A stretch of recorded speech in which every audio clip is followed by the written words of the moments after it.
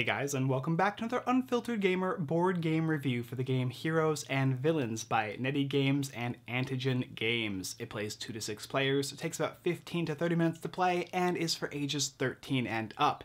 And in the game, you're going to be gathering a superhero or villain, and taking their deck, shuffling it up, drawing four cards, and beginning. The game's very simple. You'll draw a card, check to see how many cards you have in your hand, utilize your energy by deploying and activating cards, and attempting to deplete your opponent's deck into his or her stockpile.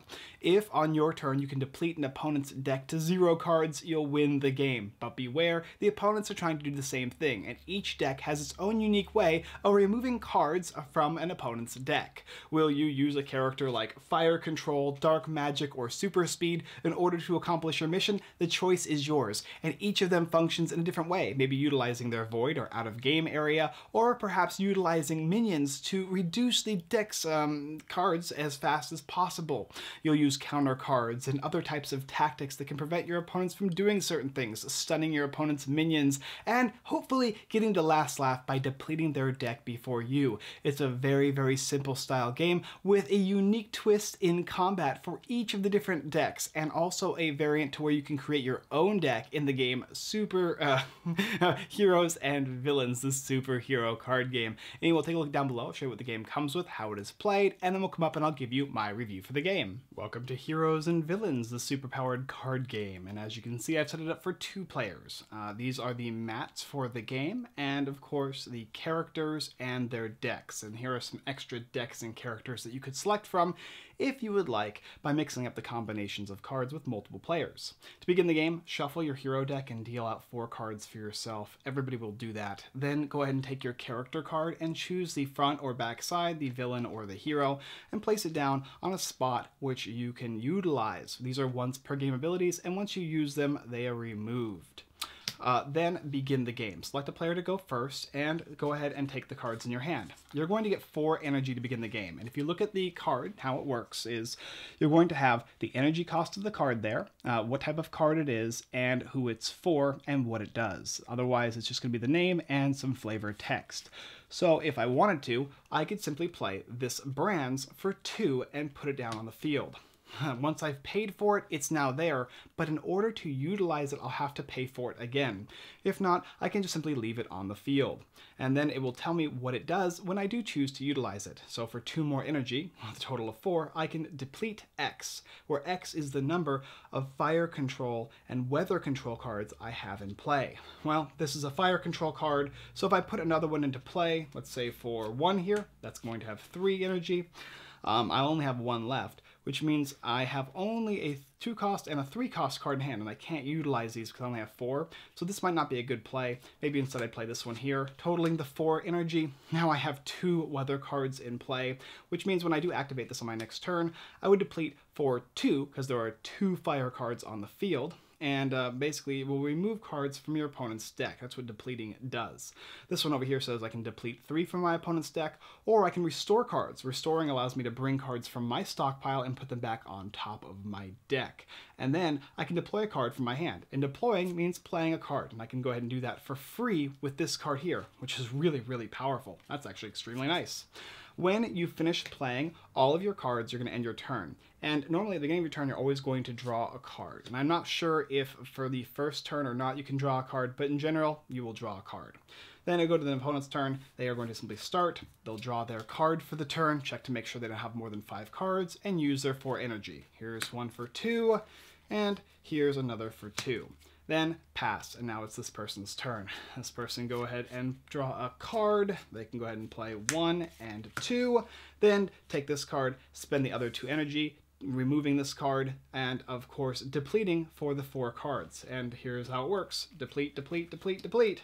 Now it's four cards in my opponent's stockpile. And their objective, remove all the cards from the deck. When you do that, you win. There's a bunch of different things in the game that you can do, and the appendix here explains what you can do, whether it be countering cards, basically removing them once they are in play, gaining additional energy from the four that you normally get, purging cards by putting cards into your opponent's void, and things like revealing and stealing cards, where you're going to have to reveal cards from your hand, or an opponent might steal a card from your hand. But otherwise, that's pretty much the way the game works. Spend the energy to put them out, spend the energy to, to use them, and then whatever they do or say is what you do, with your objective removing your opponent's deck into the stockpile on your turn, and if you do so, you win the game. And of course, don't forget to use your super special power, which is really useful and something you should not forget. Every single deck plays its own way, but the objective is the same, get rid of those cards. I wasn't sure what to think about with Heroes and Villains, the card game. Uh, when I first saw it, I was kind of thinking it was going to be kind of a, a game where you're doing take that actions and you're trying to deplete your opponent's deck,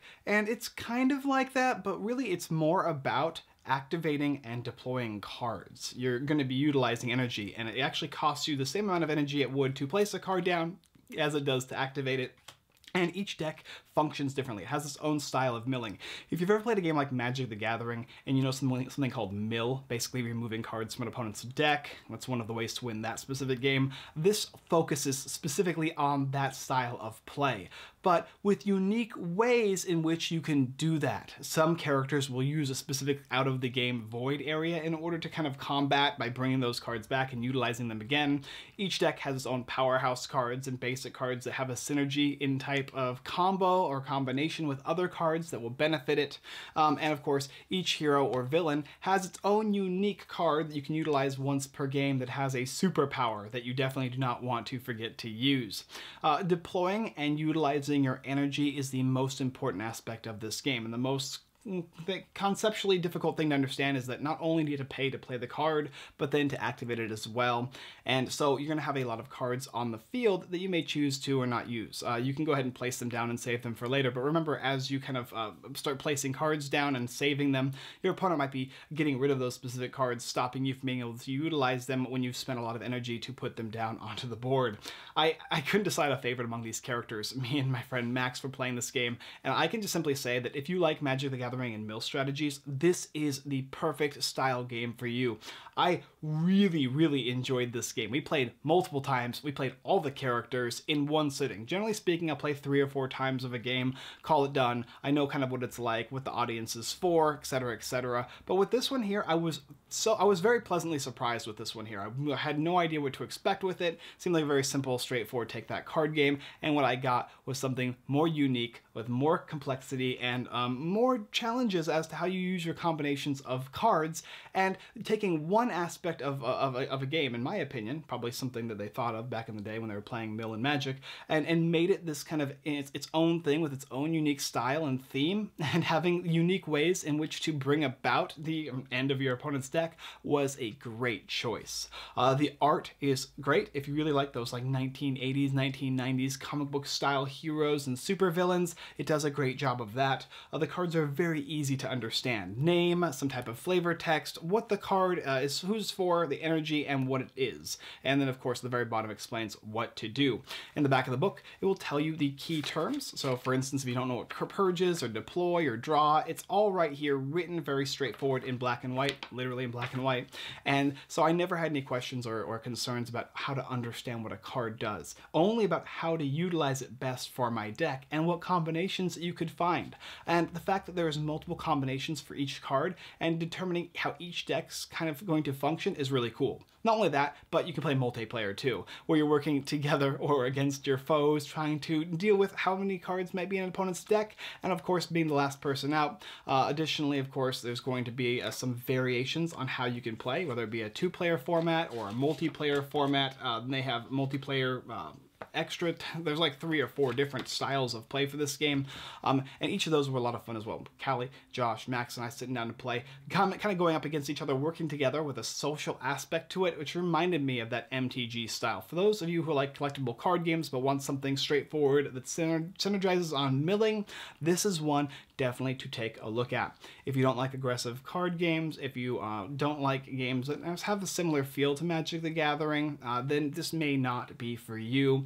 But for me, this hits home in a nice space because I really enjoy Magic and milling, and I like the way this is formulated to be different and feel different, but still have a similarity to that, that I'm all in for it. I also really like the artwork. I like the quality and the fact that it had these mats. I think these mats are super useful and wonderful to utilize, and the fact that you have your own unique superpower ability, and the game is so quick 15 minutes to play is accurate. And the better you get with your deck, the faster the games go, and the more you want to jump in and play again. So, regardless, you can take a look down below and see if you'd like to pick up the game. Uh, for me, though, a solid, solid choice for those of you who like card games. Thank you guys for watching another Unfiltered Gamer board game review for the game heroes and villains, uh, the superhero card game. If you're interested, like I said before, there's a link down below in the description where you can go ahead and pick up the game. You can also go ahead and check out our website, unfilteredgamer.com, blog posts, giveaways, Kickstarter lists, and more. See our reviews uh, by other writers, not just myself, for games I've previously covered on the channel, and even games that I have not covered that they specifically requested to show you guys. And of course, Moonshell Mermaid games coming out soon. We're getting the manufacturing done with the minis oh, the meeples, I should say, and the, the cloth bags. And you can also go ahead and check out our Patreon. Thank you, Patreon members, for supporting us. Every Sunday at 6.30 p.m. PST, we have a live stream where we play games literally just like this one. If you'd like to come and watch and maybe win a game as well, go ahead and join us there. Thank you guys so much for watching, and as always, I look forward to defeating you evil supervillains next time.